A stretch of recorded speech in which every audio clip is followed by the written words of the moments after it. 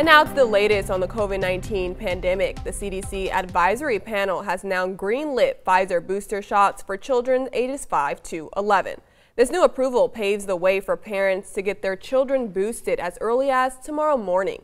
Earlier this week, the Food and Drug Administration authorized the use of booster shots among younger children to be used at least five months after completing their first round of shots. Children over the age of five became eligible for vaccination against COVID 19 in November. So the first kids who were in the front of the line for those shots have now had about six months of protection.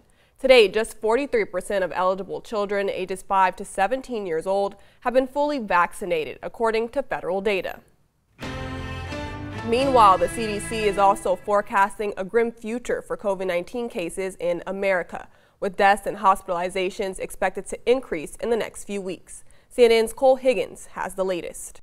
COVID 19 deaths are expected to rise over the next four weeks, a CDC forecast predicting more than 11,000 new deaths and a surge in hospitalizations for a fourth consecutive week. There's a lot of infections across America. What's driving that?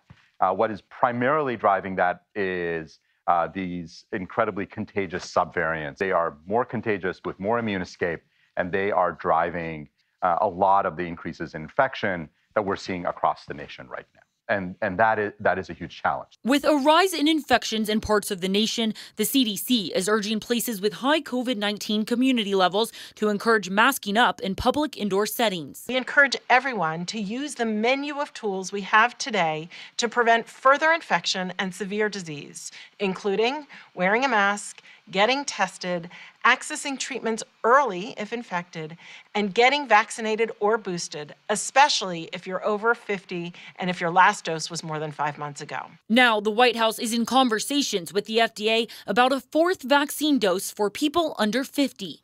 With regard to a fourth dose for those under the age of 50, that is going to require action from the FDA, and we're in conversations there as well. I'm Cole Higgins reporting.